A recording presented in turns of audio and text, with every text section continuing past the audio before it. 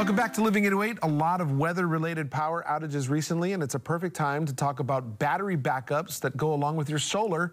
Eric Carlson of RevoluSun joins us now with more. Thank you so much for being here. Appreciate it. Thank you, John. Nice to have you in studio.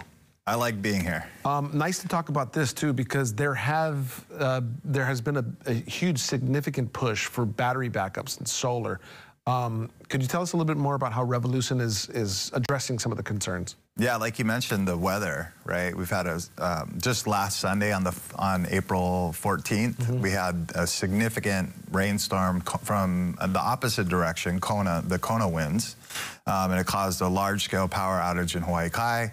Over 12,000 customers were, were, without power from anywhere from 24 to up to 36 hours. Not only homes, it affected businesses, Koko Marina, mm-hmm. um, it affected major infrastructure like the traffic signals. Traffic was snarred from a typical five-minute you know, commute yep. turned into an hour. I was stuck in it. Um, and then, you know, major things like there was uh, 250,000 gallons of partially treated sewage that had to be released um, that caused the public um, health service to issue a warning to stay out of the ocean. So it affects everybody. Yeah. These and they're becoming more frequent.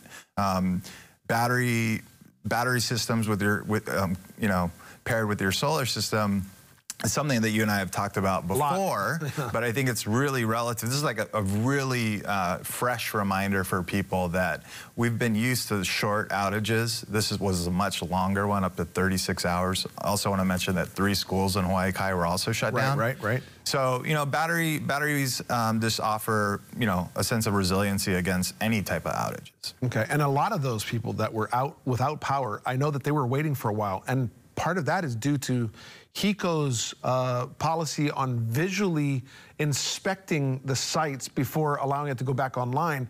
That could also be a, a, big problem, and battery a battery solution could be the solution. Yeah, the new policy that you you had mentioned about physically um, inspecting the lines, you know, that is one that has come off the heels of of Lahaina, what what experienced with with the uh, fires there, and so it's a safety um, protocol that after a power out, after a fault or a line trips, they will not re they will not turn on the power again until they can visually inspect it mm -hmm. to mm-hmm. ensure that there's no harm or potential of any fire damage.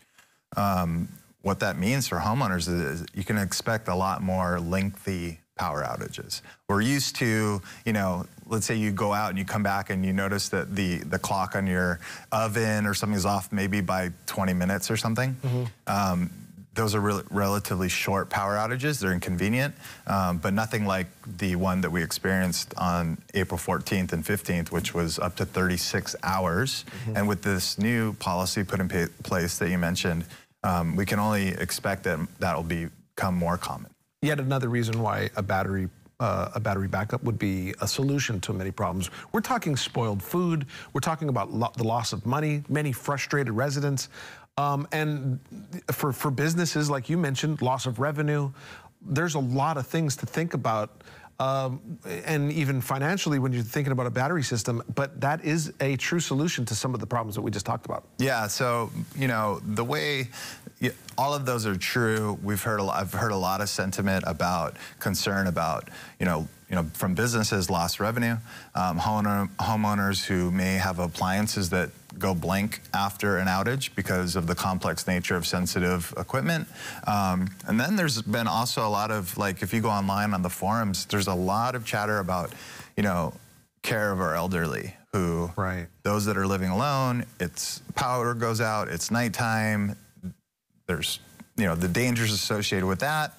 And then there's those that rely on sensitive equipment like oxygen, mm -hmm. um, you know, et cetera. So again, there's the inconvenience of an outage, but there's also like the critical needs of having battery storage to keep your home up and running if you are have a family that has um, those needs. Okay, so we've talked about some of the problems with not having a battery system. Let's talk about the solution on getting a battery system and being able to afford it. Let's talk about uh, financing it. How do, how do we do that? Yeah, so, you know, uh, a lot of uh, you know dramatic improvements in battery technology. Tesla has come out with their Tesla Powerwall 3 this year that we're offering to our clients. It's a much more robust system. Um, we partner with a number of local financial institutions that have solar specific loans As, and so if you're, you know, it's always nice to work with one of the banks that you're already working with. And so they are well versed with solar. They understand they have very attractive solar and storage loan programs. Um, and then there's also the national ones that are solely focused on solar and battery financing. And then lastly, if um, you know you, don't have the means to put that upfront investment, there's also leasing. Leasing is great, and I want to talk about the leasing on our next segment. Okay. But you know, touch base if, if people are interested after seeing this, they can just call us. Perfect. We'll go into into uh, more depth into that uh, on our next segment. That's a great tease for yeah. our next talk. So appreciate yeah. you being here. Yeah, thank you for uh, having uh, me. Website?